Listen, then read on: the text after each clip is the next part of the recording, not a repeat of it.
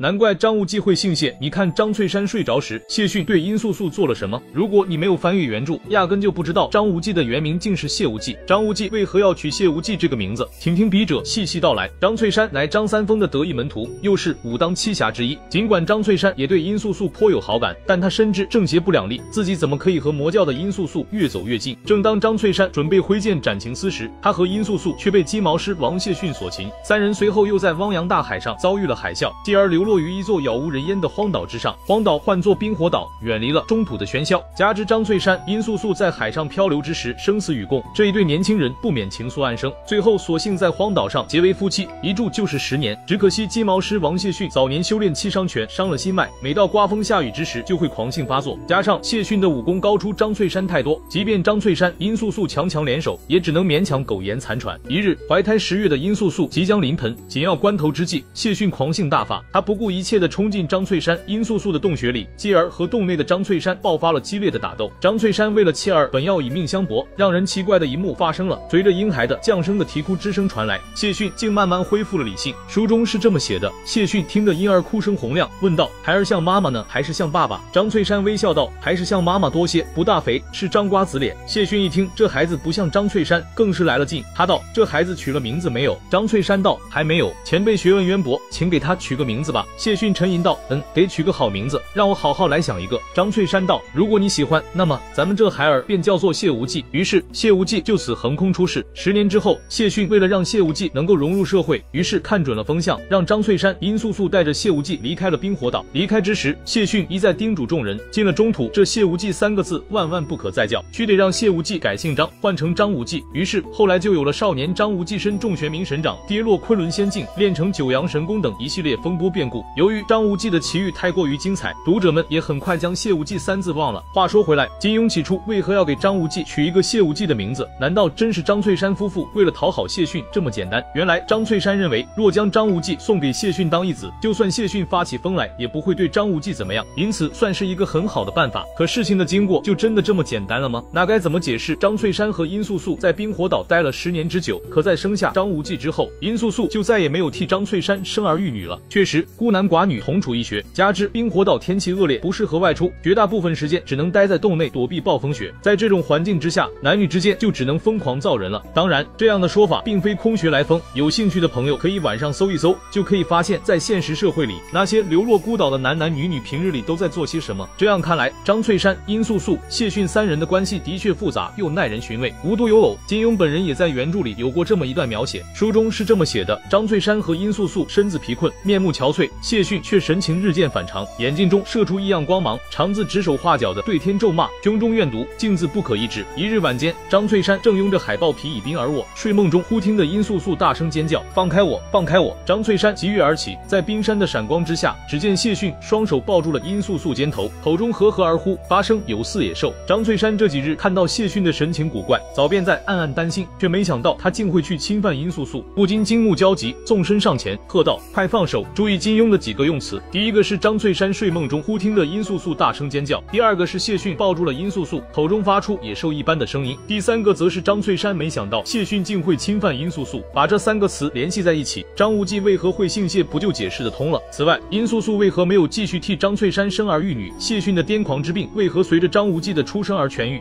张无忌为何神功大成之后屡屡舍身搭救谢逊等谜团都能迎刃而解？